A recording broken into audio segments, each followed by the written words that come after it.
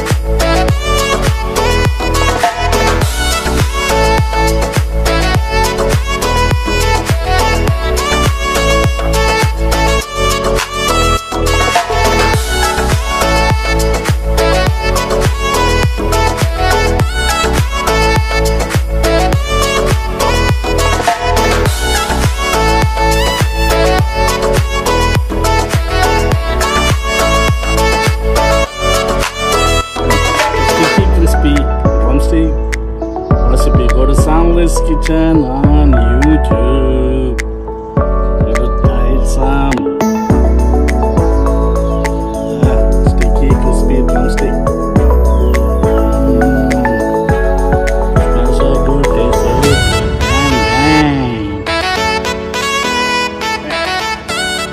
Tune in for monk fish fry